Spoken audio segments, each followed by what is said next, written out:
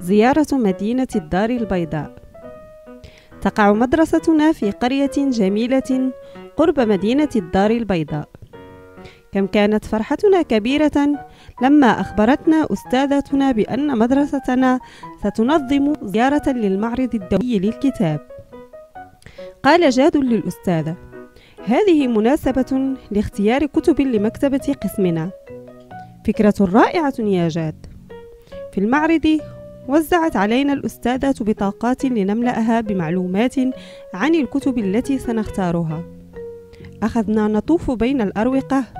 هذا يختار حكاية وذاك يختار قصة مصورة وتلك تفضل مسرحية.